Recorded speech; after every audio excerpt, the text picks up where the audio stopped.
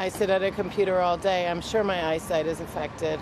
Digital eye strain, already a big problem pre pandemic, got worse as offices and classrooms emptied out and work and school went virtual.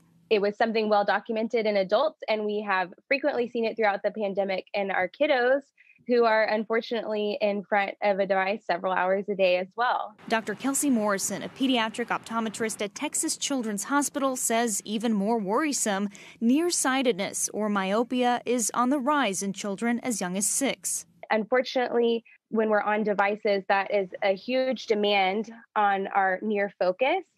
And so we think that has something to do with why we're seeing an increase in the prevalence of nearsightedness. It's not just the time spent staring at screens that's dimming their vision. A new study in China several months into the pandemic found that less exposure to outdoor natural light is part of the problem. But some parents say playtime outside just wasn't happening in the midst of coronavirus spread. She was looking at a screen, yes, because mommy had to work.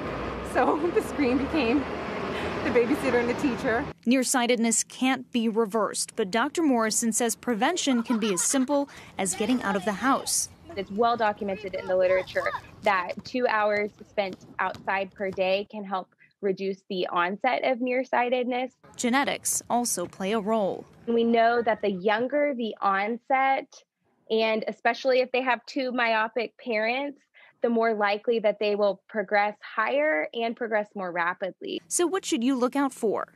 When people start to become nearsighted, they, because their up close vision is usually good, they start to bring things closer. They move closer to, to the TV. Sometimes they look out the sides of their eyes or squint.